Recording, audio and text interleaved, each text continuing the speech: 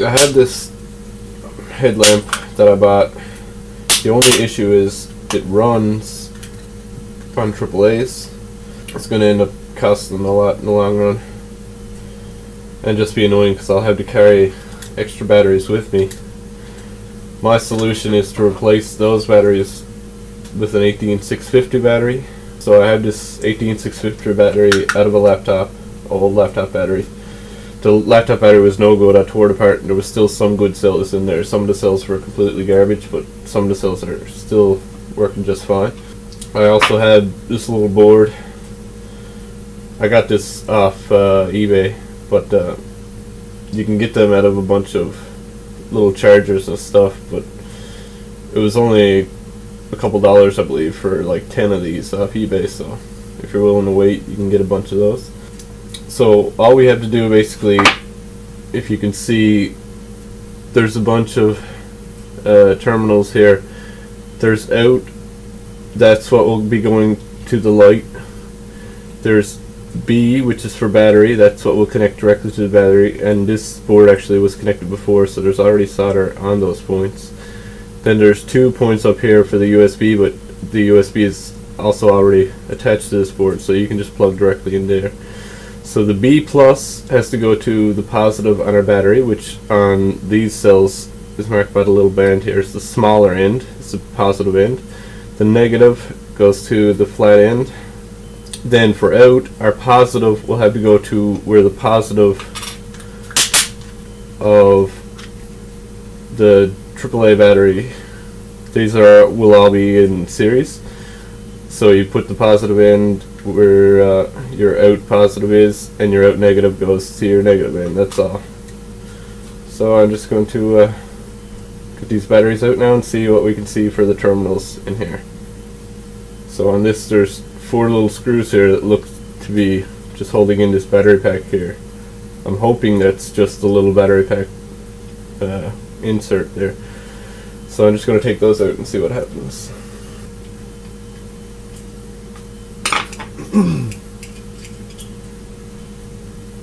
Okay, so I took out those four screws, and it's not just a battery pack, it's actually the whole board on this one little piece here. But you can see now it's clearly labeled here as well, actually, the points. So there's a battery positive up in this corner and a battery negative down in that corner. If you want to get really deep into it, you can remove the old terminals from the batteries and stuff and, and desolder those from the boards. But I think my plan is to actually just solder wires onto the side here. The little pads on the inside are probably points to solder to, but I'm not going to take any chances. I'm just going to go directly to those on the outside. So I'll just have to solder on a wire and make sure it's not going to get in the way when I put it back inside and have those wires run back out through the back here. We'll worry about the waterproofing and that after. So I got my soldering iron heating up right now. I cut two lengths of wire. The reason they're so long is the idea is for them to wrap around to the back of my head and I'm going to hang the battery on the back of my head just to give it a little bit of a balance. By the way, the 18650 battery uh, was 45 grams when I measured it. These guys are 12 each, so that's 36. So it's only a little tiny bit heavier. And well, this guy was less than 2 grams, so it's only a little tiny bit heavier than the actual uh, AAA's there. And we're going to take all the weight, most of the weight from the front of your head and move it to the back of your head. Alright, so the black wire is connected onto here, the battery negative. Okay, so I got the red side hooked on there. So they've been cleaned flux, they're attached. Now we just have to solder them on. Now if you're looking for uh, information on how to solder, this is not a video on how to solder. It's a pretty easy process if you want to look up a video, but my tools are uh, a bit older, a bit dirtier, not the best, so I'm not teaching anybody how the proper way of soldering, but basically you just clean up your joint. You want a clean tip, not like mine. Put a little bit of solder on your tip just so the heat will transfer better. And the idea when you're soldering is you want to heat up the metal that you want the solder to stick to and then put the solder onto that metal. You're not directly heating the solder with your iron. You're heating the object and then putting solder onto that object. Can be a little bit tricky when you're when you have uh, plastic pieces like this. You don't want to stay there too long. This will easily melt that plastic. But so yeah, put her on there and let the solder stick in there. And like I said, I'm far from an expert. You can do a lot better than this. By rights, I should have cleaned these uh, tabs before I put the wire on as well, just so they would hold the solder a little bit better. Okay, so that's a super crude soldering job. Like I said, if you're looking to learn how to solder, there's lots of videos online. These will go directly onto the uh, charge board here. But first of all, I'm just going to put this back together. Think we have our solder in the way a little. Yeah, this solder here is in the way a little, so I'm just going to try to melt that down a little. You're putting these screws in too. You want to make sure they're in tight enough because it's going to keep the water out of your uh, device. But also just keep in mind that it is only plastic, they're only tiny screws so you can very easily strip. Now we have our little device with two wires coming out the back. The back potentially still closed. I believe what I'm going to do is just drill a small little hole in the back here, run the wires through, and then just a little bit of hot glue or something like that to seal over the hole and then this end should still be perfectly waterproof. For now though, I'm just going to leave it open. I'm just going to twist them a little bit so they're going to run along the back like that when she stretches out it'll get out. So now the next step is to attach two of these to the out terminals on this. So the red's going to go on to here the black's going to go onto here. The process of putting wires directly onto pads here. You clean the wires, you clean the pads, you put some solder on the pad first of all, then you sink your wire into that. So, as you can see it's pretty easy here. Heat the pad a little, a little solder on, and simple as that. You want to make sure you don't connect any pads or anything that aren't supposed to be connected, obviously. So our black wire will simply sink into that one.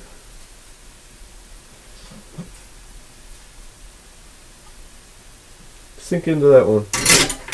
Our red wire is in our out positive, black wire is in our out negative. No connections between those two pads there. Next thing, we're going to be connecting onto the battery. Uh, there's a couple ways of going about this. You can get yourself one of these holders. You can see I've already rigged it up to another charge board.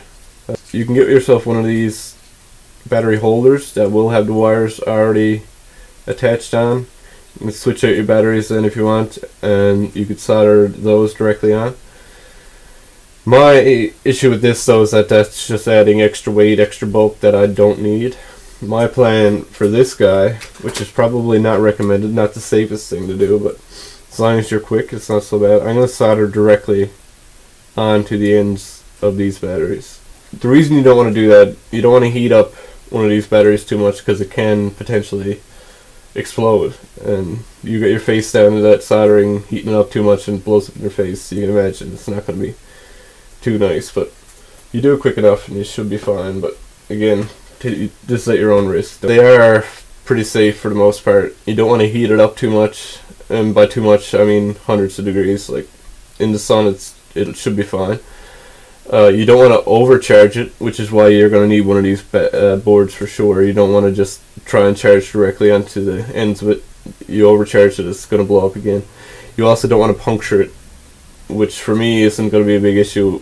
Sure, the battery is on the back of my head, but if I fall down hard enough to puncture this battery on my head, I've got some other issues going on first, so Yeah, you don't want to puncture it, you don't want to overheat it, you don't want to overcharge it. The board will uh, solve over and undercharging.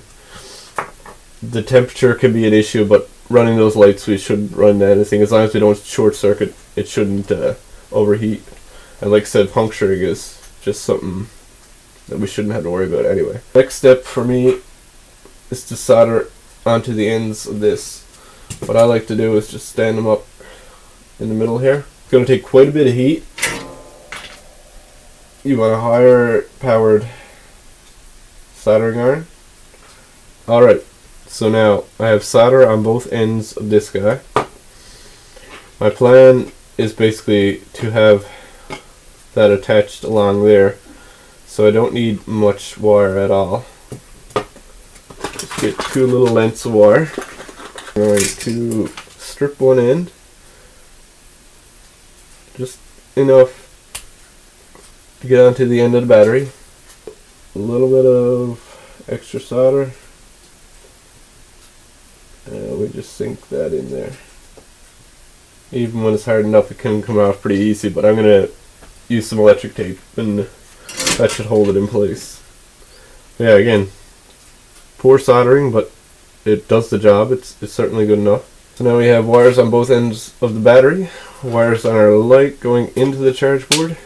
So first of all, I'm going to say I want my black wire, I want it about there. I'm going to take it, and cut off the extra. I'm going to strip just a tiny bit. And I just pulled it off. If you want to avoid doing what I just did there, rather, rather than holding the battery and trying to hold the wire in your hands as you strip it, grab a pair of pliers and hold the wire directly, lay the battery down, hold the wire directly on the table and strip and you won't pull too hard. Also, you can just go ahead and put the tape on first. Negative black wire has to go into the negative terminal. And keep in mind as well, as you're doing this with your positive wire, it, it's not too bad with your grounded wire, but as you're doing this, your battery has charge in it, most likely. If it doesn't, it's useless. So there's charge in this battery. If you short circuit this battery, it's going to start heating up. If you touch the wrong spots, it's going to create sparks. Like you want to be careful with your positive wire. There's the black wire connected. As I was saying before, if you want it to stay on here, just going to grab it with these guys. And there we go. Definitely don't want that red one to touch that black one there. Oh, you see, a little spark there. And that's it. So now, when we turn on our light, it works again. Works just fine. And I can plug this into my battery bank, charge it right back up. I never need to worry about carrying old-fashioned batteries with me anymore. I'm just to put one wrap around and over the entire board. Going to go lengthways to hold wires. One more thing I had to do is to attach it back here. Well, the plan is to use a Velcro strap. So to attach this onto the back here, I'm going to use a little bit of this Velcro strap that I have. So I'm just going to tape around to hold that in place and then I can just Velcro that on. We'll see how that holds. So now this can come here and we can just strap it on.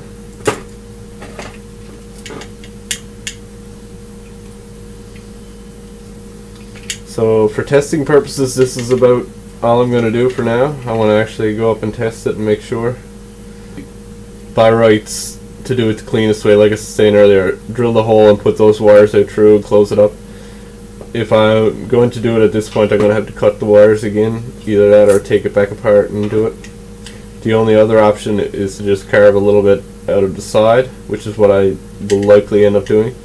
Just a little divot here so I can get it closed up again, and again I'll seal it up. For waterproofing, I want to seal up the hole here, and I'm also going to have to do something with this here. There is a bunch of different ways of waterproofing electronics. Uh, you're better off looking up a video if you want to do it right proper. The tape that I have here should work pretty good. Water's definitely going to seep in around here though. Uh, ways to help that nail polish quickest and easiest way a lot of people either have some themselves or know somebody who has some so just get a little bit of clear nail polish anything like that some any old epoxy anything that's not going to conduct electricity you can put on here harden up and even some hot glue problem with hot glue is it comes off real easy and it's also going to add weight but yeah other than that now I have a headlamp that I can recharge. You don't have to buy new batteries.